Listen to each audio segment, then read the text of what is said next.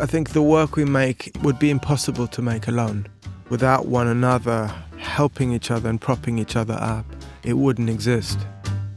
As our work has gone on our journey, our friendship has gone on a journey, and that goes together. And I think we've grown up together, you know? We met in a tiny town called Wuppertal, and years later, when I moved to London, I looked Ollie up. It was the only telephone number I had. I think that what drives us both is a kind of crazy sense of curiosity.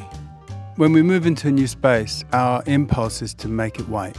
And the reason is that whatever we bring into that space, we want to be able to see it clearly without any distraction.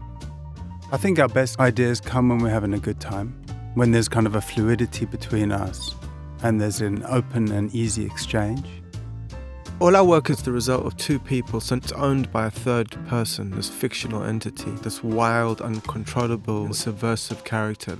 We both find that very liberating to be able to inhabit that fictional persona. Somehow we have some kind of intuition, because inevitably, as an artist, when you're engaged in a project, you lose faith at some point. And at that particular moment, it seems that Ollie steps in and stokes the fire, you know, props it up, and vice versa. He's helped me to understand my strengths, and I'm very grateful for that. I'm also grateful for the last 20 years of working, which has been such fun.